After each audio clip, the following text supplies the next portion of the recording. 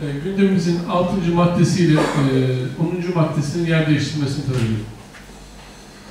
Gürel Güzel'in Ben de söz istiyorum. Aynı maddeyle ilgili.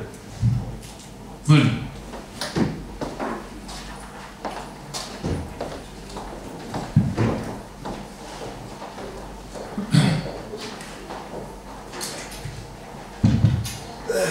kameranın ilgi alanına girebilmek için konuşmalarımızı bundan sonra buradan yapacağız.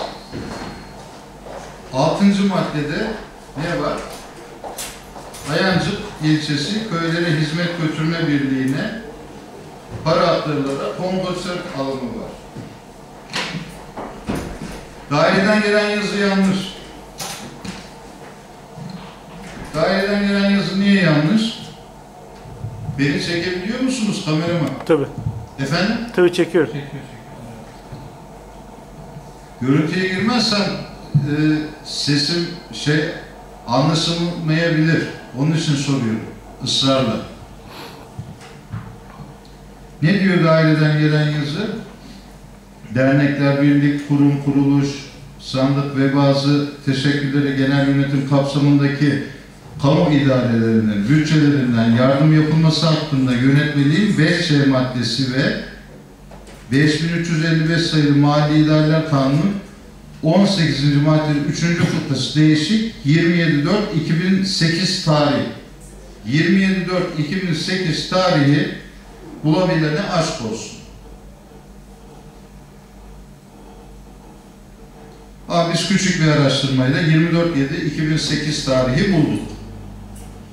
Burada da maddeden önce söz alma sebebimiz şudur. Bakanlıklar ve diğer merkezi idare kuruluşları ile il özel idareleri köye yönelik hizmetlere ilişkin yapım, bakım ve onarım işleri, bölünmüş yol, köy yolu, içme suyu, sulama suyu, kanalizasyon yatırımlarını kendi bütçelerinde bu hizmetler için ayrılan ödenekleri köylere hizmet götürme birliklerine aktarmak suretiyle gerçekleştirebilirler.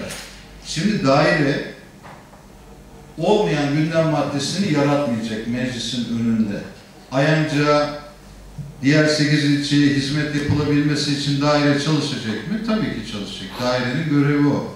Meclis üyelerinin huzuruna gündem maddelerini getirip karar vermelerini talep edecek mi? Arz edecek mi? Tabii ki dairenin görevi bu.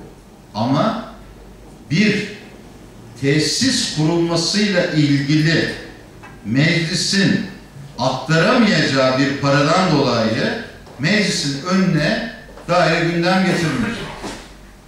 Getirirse ne olur? Kaos olur. Şimdi Ayancık'ta yol yapılması için il özel idaresinden protokol ile örneğin Baba Davut Köyü'nün yolunun yapılması için protokolle para aktarılmasında sorun var mıdır? Yoktur. Ama burada işte ilgisiz kanunla tarih verilen ilgisiz kanunla doğrusu 24.7.2008 ilgili kanunla bir tesis, makina, edevat alınması için bir aktarım yapılır diye bir ibare yok. Burada ne olur? Meclis yanılır. Ha meclis şunu yapar. İlla köylere hizmet götürme birliği Ayanca para aktarmaz. Ayancık ilçe özel idareye e, kompresör alır. Biz muhalefet iktidarı olarak anında çözümü koyarız.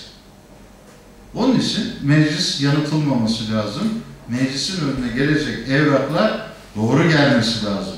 Çünkü meclis tatile girmesine bir sene kaldı. Meclis dört yıl çalıştı. Artık bu işlerin meclisin önüne gelmemesi lazım. Bu ertelenirse buna göre ertelensin. Buna göre tartışılsın. Ayancı'nın hakkı da gelmesin. Yanlış kararlar usulsüz malzeme alımı Ayancı'ya yaptırılmasın. Teşekkürler.